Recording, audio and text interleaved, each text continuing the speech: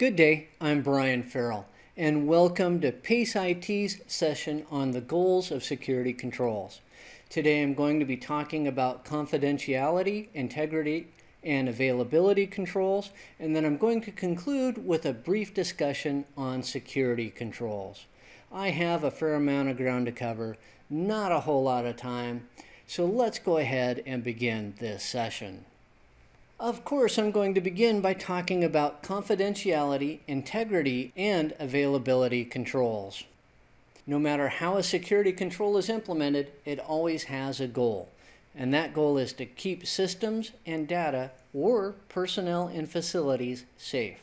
In some cases, these end goals can be combined. However, in most cases, they are deployed separately to achieve the goal.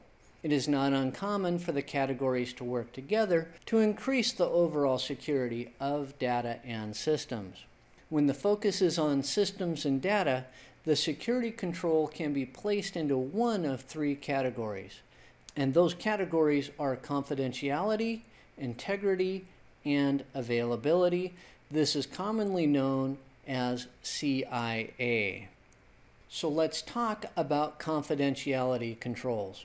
This is using technological controls to ensure that only authorized personnel can gain access to the information. This is done through several different methods. It can use access control or permissions. This is explicitly establishing who can access the information. The person requesting access must have explicit permission to be able to access it. Then there's encryption which ensures confidentiality by using an algorithm to make the data unreadable unless the appropriate security key is present. Encryption can be placed at multiple levels. It can be placed at the file level, the storage level, or on the communication channel. Then there's steganography. This is concealing data, as in a text file, within a graphics file the person receiving the graphic file must use steganography software to read the secured data. In many cases, access control and encryption are used together to increase the confidentiality of data or systems. Now let's move on to integrity. This is using technological controls to ensure that when data is sent from a source, exactly the same data is received at the destination. In short, integrity is authenticating the data. This can be achieved through hashing. Hashing is using a mathematical algorithm to verify that no change has occurred to the data in transit. Once received, the hashed value of the data is used to ensure that the integrity of that data has been maintained. Certificates can be used as an integrity control. Now, certificates are a cryptographic means of transporting or exchanging security keys. This ensures the integrity of the security keys. Then there's digital signatures. This is using a combination of certificates and security keys to authenticate the sender of a message or data. In short, ensuring the integrity of the source. Quite often, integrity controls are used in conjunction with confidentiality controls. Then there is availability. This is using various control types to ensure that data and systems are always available when required. Availability controls can be implemented through various methods. One method is fault tolerance. This is ensuring that even in the case of a failure, data is available.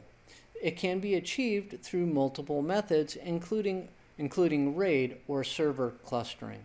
Then there's redundancy. This is ensuring that systems are always available by using multiple units, as in using a partial mesh topology to guard against the failure of a network switch. Backups are another way of ensuring availability. This ensures that data can be recovered in the case of loss or corruption. Patching is another method of helping to ensure availability. Patching ensures that systems and data are available by keeping operating systems and configuration files up to date, safeguarding against common systems attacks that might bring down those devices. Now let's have a brief discussion on safety controls. Security controls should also be put in place to ensure the safety of personnel and facilities. Often the responsibility for securing systems and data are separated from the responsibility to secure personnel and facilities, but not always. Without the people and facilities, the systems and data will not do much good. Some security goals should be put in place with this in mind. The security controls should cover disasters, as in a fire or earthquake, personal safety, as in all parking lots should have adequate lighting, and outside threats, as in controlling access to the facility. The controls also need to be tested on a periodic basis to ensure that all people know the controls and understand how they operate.